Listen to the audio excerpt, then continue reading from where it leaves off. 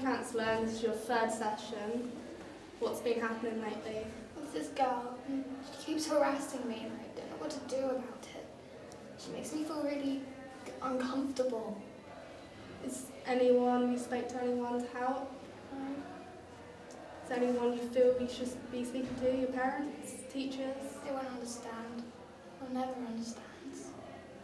Wow, have you tried confronting this person?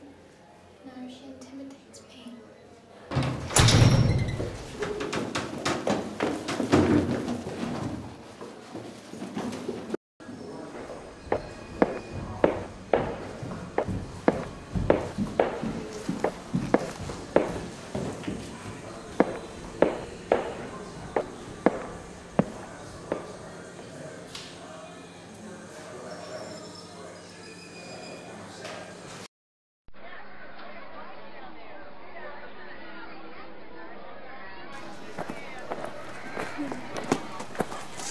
What's your problem, yeah?